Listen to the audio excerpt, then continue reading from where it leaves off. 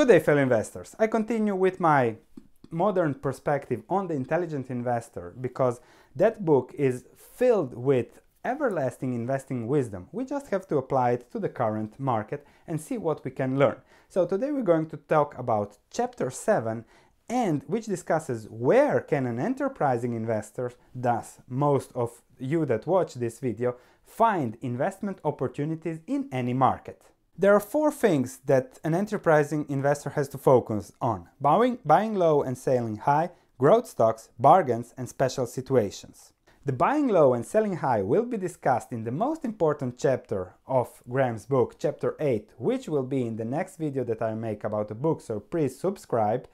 And today we're going to focus on other issues. And I will use stock market examples to explain in a better way. Now, first, what Graham discusses are growth stocks, and he defines growth stocks as one as a stock that has grown better than the average and will continue to do so.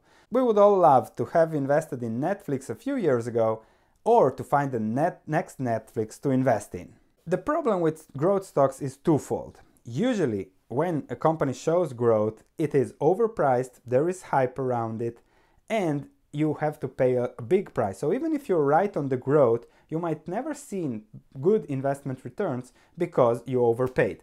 The second thing is that nothing can grow forever. And if nothing can grow forever, sooner or later that growth stops and then you see the stock price crash. Graham statistically analyzes returns on investment in growth stocks and finds that th those are not good.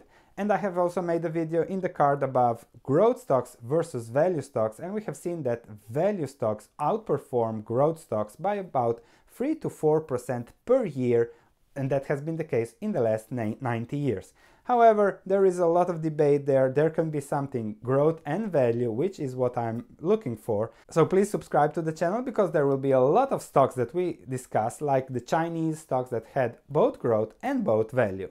And then another problem with these long-term growth stocks is holding to them. Let's see the Apple case. So Apple stock was at $1.48 in 2003, now it is $187.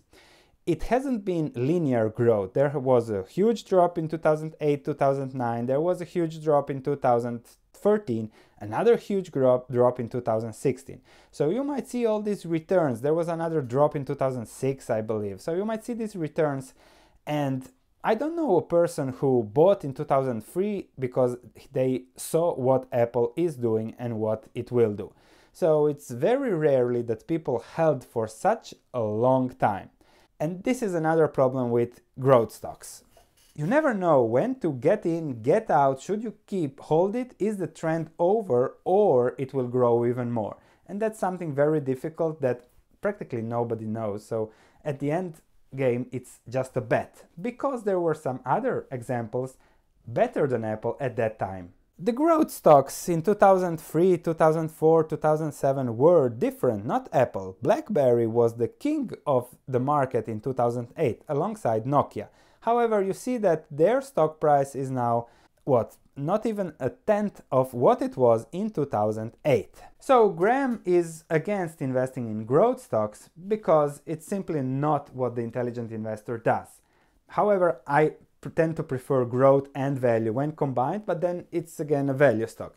He has different concepts that we have to look at it, which are the following.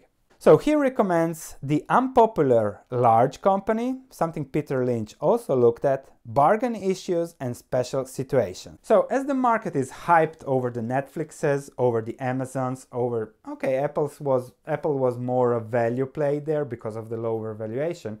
It disregards big companies that are in temporary trouble. However, we have to really be careful with the temporary. We have to see, okay, is this company just in temporary trouble or it is a long-term trouble?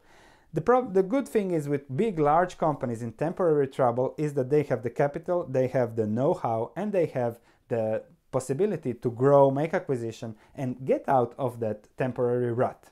A company that was in temporary trouble just two years, three years ago is Walmart. It was trading at below 60 just to jump up to above 100 in the last few weeks. Graham's strategy with out of favor stock is simple. Buy blue chips that have the lowest price earnings ratio and are currently out of favor.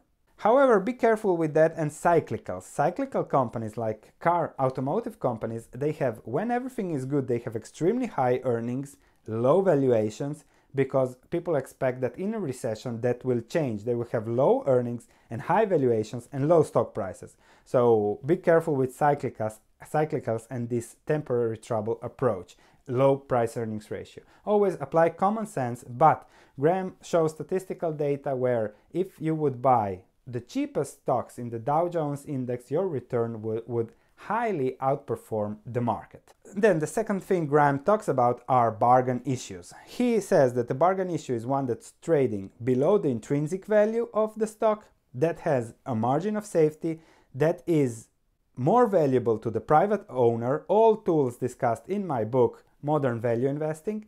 And then Buffett continues in the temporary clouds environment with this quote The market is fond of making mountains out of molehills and exaggerating ordinary vicissitudes into major setbacks. So when there is some trouble, the market doesn't like it, Wall Street says no thank you and the stock price goes down, creating an opportunity. On the net working capital, the net working capital comprises current assets minus total liabilities, current assets, cash, inventories, securities, some ad receivables, etc. So when you have a company that has, let's say, more cash, current assets then all the liabilities, then you get all the fixed assets for free, just for free. And that in the long term, because those fixed assets are supposed to produce in the long term something, then or be more valuable to the private owner because the private owner buys the assets, then it might be a big investment opportunity. However, in this market, the net working capital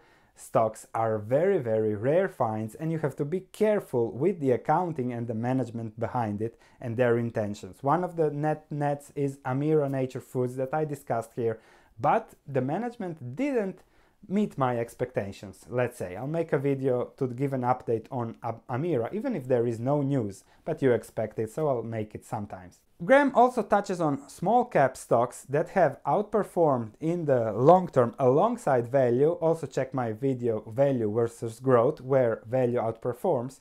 But small caps, he says, are much more risky and he urges you to really know the company before investing in smaller caps due to their volatility. He prefers the bigger names and the, let's say a little bit more defensive investor should stick to the bigger names. The third thing are special situations and workouts. Special situations are merger arbitrage situations where a company offers to buy out somebody else at price of 10 but the stock price is now 8. So the market is discounting the risk that the merger won't go through. So if you specialize in such situations, that's also a nice way to gain returns. For example, uh, Warren Buffett was of course long Monsanto because of the Bayer acquisition. And the workouts are things that have to work out. For example, when a company is sued by another company, then you never know what will be the outcome of such a lawsuit. It could be positive, it could be negative. But Wall Street doesn't like such uncertainty and they discounted the whole, even positive or negative outcome. And when you can find that the stock is worth more than it's trading for, even if there is a negative outcome to the lawsuit, then it is again a special situation, you can take advantage of it. However, this requires a lot of work, knowing what you're doing and specialization in such cases. So to conclude, if you want to be an enterprising investor, looking at growth stocks, looking at bargain stocks, special situations, margins of safety, intrinsic values, you have to be fully dedicated to what you do and really invest a lot of time to understand and take advantage of the market. Graham believes that we can beat the market if we are real businessmen and we dedicate ourselves to investing. I am 100% dedicated to investing. I hope to help you by sharing what I do, a little bit showing what I research, what are my ideas, sharing some stock picks. So I hope I can help you a little bit, but if you don't have the time, perhaps it's better to leave your investing to somebody else or to be a defensive investor where you have a allocation of stocks depending on the valuation and short-term bonds now because long-term bonds are very risky at these interest rates. So please subscribe as next time Uh, when we touch on this stock, we will discuss Graham's Chapter 8, which is the key component for all do-it-yourself investors. Thank you and I'll see you in the next video.